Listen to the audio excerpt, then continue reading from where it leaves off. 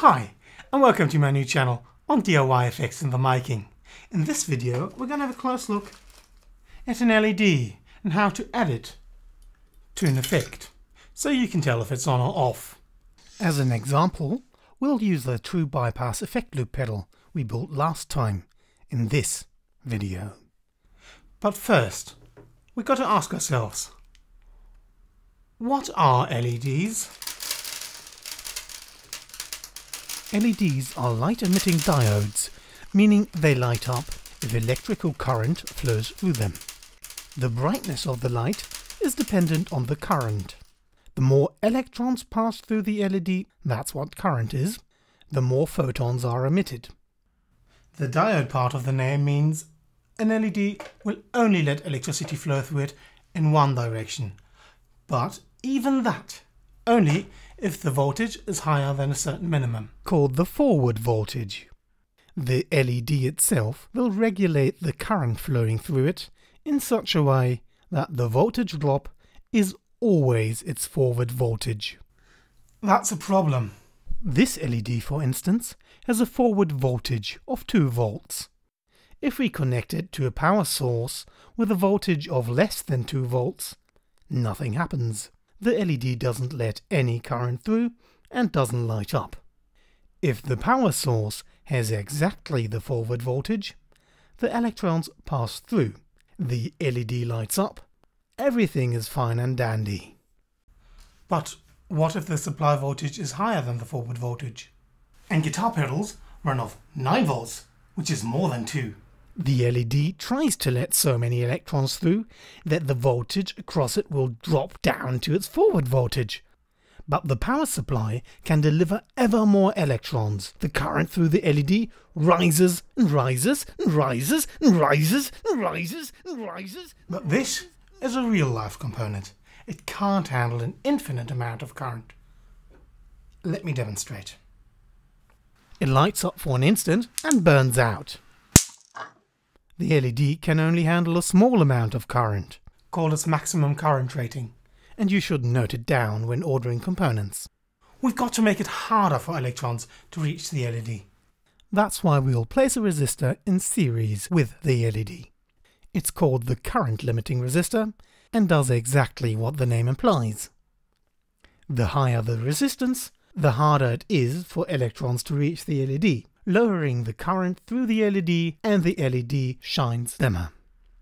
If we want to get the maximum brightness out of a LED, we have to use the smallest resistor. We could do some math using this formula to work it out, or look it up online. There are many websites. I like this one.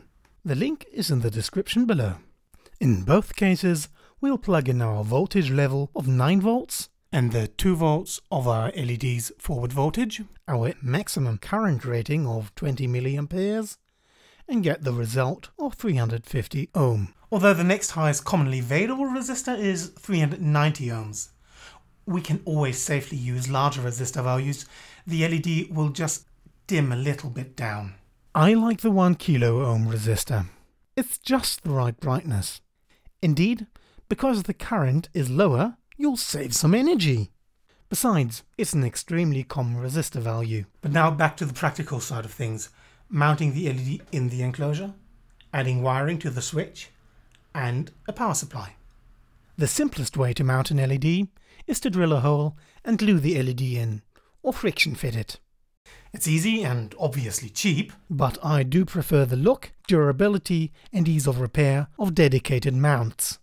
I just think they're neat we'll drill a hole in the faceplate and fasten our mount into it. As for the power supply, in this day and age we should ditch the 9 volt block. It's expensive and produces trash. Instead, we'll mount a DC jack. Make sure to buy a plastic DC jack, as for guitar pedals the outer barrel contact carries the positive charge, whilst the enclosures are grounded. I'll add wires to the DC jack outside the enclosure, as I find it easier. The lower pin with the extra tab is connected to ground. The uppermost terminal is our 9 volt terminal. Drill a hole and stick it in. Now we're going to solder the DC jack, LED and resistor to the switch. First, stick the LED through the rubber plug of the LED mount. The LED has two different length leads. The longer one is the positive pin and we'll solder on our 1K current limiting resistor. On the other end of the resistor, we'll connect up the 9 volt wire from the DC jack. As we already have ground at the switch, we'll take advantage of that and place the switch at the ground side of the LED. If the lower terminals are connected, the loop is on and we want our signal LED also to be on. We'll solder a ground lead from the LED's shorter leg to the lower middle terminal and ground proper to the middle middle terminal. The upper terminal is still free and could be used for a second LED if that's the kind of thing you like. Now if the lower terminals are activated and the effect loop is on, the LED is connected to ground and lights up. If the upper terminals are activated and the effect loop is being bypassed, the ground connection of the LED is broken and it turns off. That's it. We're done. The reason I started this series with the true bypass effect circuit and the signal LED is because you could hardwire in any other effect circuit board. Just swap out the send and return jacks for the input and output of an effect circuit board. This schematic and layout diagram are going to be the framework for all effect pedals to come. The link is in the description below. Next time we're going to do just that with the most basic effect. A passive volume knob. A perfect excuse to learn about potentiometers. If you don't want to miss this and other pedals to come, click the subscribe button.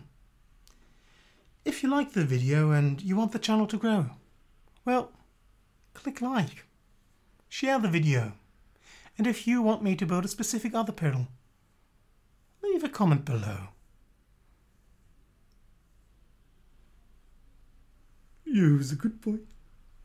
Who's a good boy? Yes, you are. Yes, you are. And you too. Yes, yes, yes, yes, yes, yes, yes, yes.